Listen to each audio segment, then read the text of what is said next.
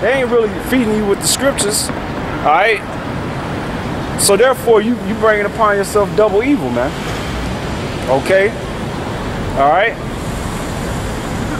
Okay. Now to the point about uh proving, all right, that these Israelite women out here are technically, according to the scriptures, they can they're considered harlots, hoes, whore, excuse me, and uh, adulteress. Okay, get that Deuteronomy chapter 28, and then from there hop down to 30. Start at verse 15 and hop down to 30. Deuteronomy chapter 28, verse 15. But it, but it shall come to pass, if thou wilt not hearken unto the voice of the Lord thy power, to observe to do all his commandments and his statutes, which I command this day, that all these curses shall come upon thee and overtake thee. That's right. All these curses shall come upon thee and overtake thee. What's that verse? Uh, is it verse 46 where it says it should be on for a sign upon you and the uh, sea? Verse 46. Yeah. And they and they shall be upon thee for a sign and for a wonder, and upon thy seed forever. Upon thy seed forever. All right. So these curses is a is a way to I to identify who the Israelites are in these days. Okay. Let me get a precept real quick. Hold verse 30 on in that chapter. Let me get this precept real quick. This is uh Deuteronomy chapter. It's a lot. Chapter 31. Verse 28. It says, Gather unto me all the elders of your tribes and your officers that I may speak these words in their ears and call heaven and earth to record against them. For I know that after my death, this is Moses talking about after he died, ye will utterly corrupt yourselves and turn aside from the way which I have commanded you, and evil will befall you in the latter days. We are in the latter days. So this proving that them curses which are evil was going to fall on the nation of Israel in the latter days. Because ye will not, excuse me, because ye will do evil in the sight of the Lord to provoke him to anger through the work of your hands. And Moses spake in the ears of all the congregation of Israel the words of this song until they were ended. Now, uh, now go to Deuteronomy chapter 28, verse 30. Uh, Deuteronomy chapter 28, verse 30. Yep. Thou shalt betroth a wife, Betroth. betroth a wife, Uh huh. and another man shall lie with her. Now the curses is that that was gonna fall on the, the Israelites was that what? You gonna get you a woman, alright? But uh, like back back in the days, the man used to get virgins, man. Your woman, if she was if she wasn't found a virgin and you took her for marriage and you find out she wasn't a virgin, she could get put to death. Alright, that's Deuteronomy chapter 22. Cause we dealt with uh you had to prove it with the sheep you place the sheet under them on the on the wedding night, and when they have sex to commence uh, consummate the marriage, to prove that she wasn't uh she wasn't defiled or she wasn't uh, a whore or whatever. All right, she uh it'll be the proof with the blood on the sheet. Better yet, go to it. Go to Deuteronomy chapter 22, start at verse 13, read down to 21. All right.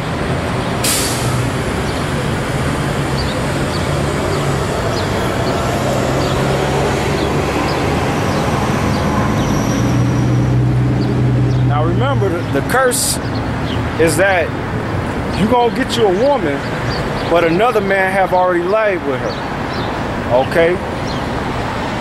That. Now I'm just backing up my statement. I said, uh, showing where it is in the scriptures that we had actual laws.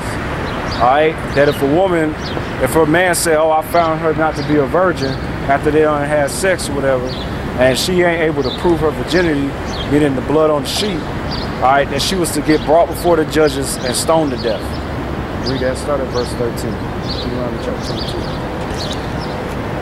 Deuteronomy chapter 22, verse 13. If any man take a wife and go in unto her and hate her and give occasioning speech against her, and bring up an evil name upon her, and say, I took this woman, and when I came to came to her, I found her not a, ma- a maid. A maiden. All right, it's maiden. All right, which is a um, a marriageable age virgin. All right, keep reading. Which a virgin is only pertains to a woman. All right, not men are not considered virgins. They don't bleed when penetrating. Keep reading. Then, then shall the father of the damsel and her mother take and bring forth the tokens of the damsel's virginity unto the elders of the city of the gate. Uh huh. And the damsel's father shall say unto the elders, I gave my daughter unto this man's to wife, and he have hated her.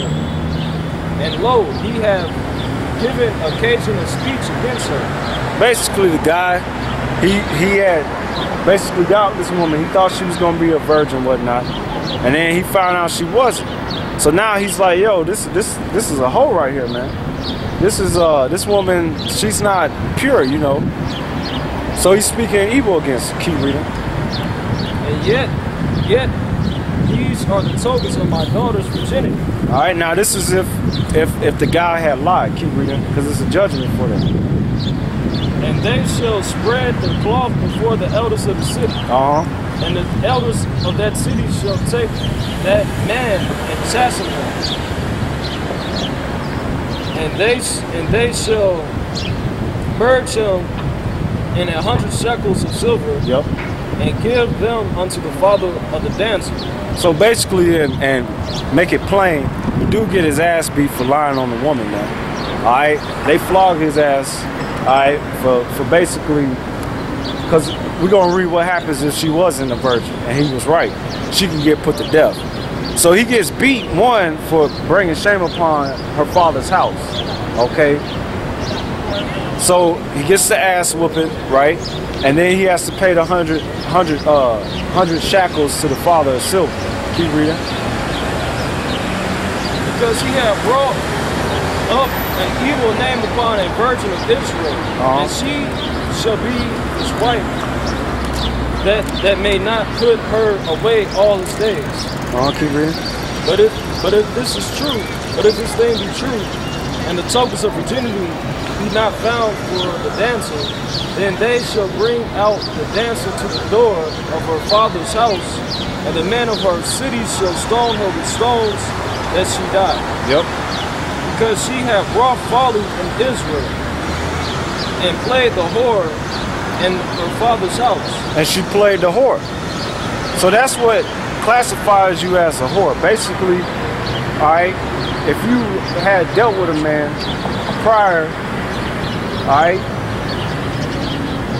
go to uh, proof of that. Go to Romans chapter seven, verse two and three. All right, this will label you an harlot. Okay, Romans chapter 7, verse 2. wow. For, for the woman which having husband is bound by the law to her husband as long as he liveth. That's right. Now, what makes them husband and wife? It's uh, through the act of sex. Marriage just means joined together by uh, uh, sexual intercourse. All right, you, you you're united through sexual intercourse. Okay, hold that. Get uh, Matthew chapter 19, verse 3 to 6. The Lord gonna break it down.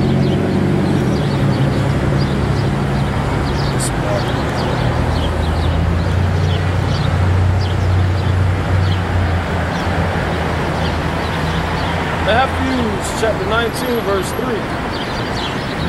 The Pharisees also came unto him, tempting him, saying unto him, Is it lawful for a man to put away his wife for, forever? I mean, for every cause? Yeah, because you had guys that was actually just, well, I don't want to deal with her anymore because I got tired of her, so I'm gonna put her away. Nah, the Lord gonna break it down. Okay, keep reading. And he answered and said unto him, them, Have ye not read that he which made them at the beginning made them male and female? That's right. In the beginning, when the when the angels at uh Yahawashi, all right, by the order of the Heavenly Father, gave the decree to create man. He created them both